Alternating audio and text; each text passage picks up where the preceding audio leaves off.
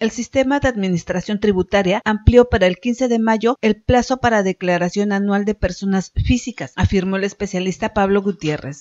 Que el plazo para la presentación de la declaración anual de las personas físicas correspondiente a 2017 se amplía hasta el 15 de mayo.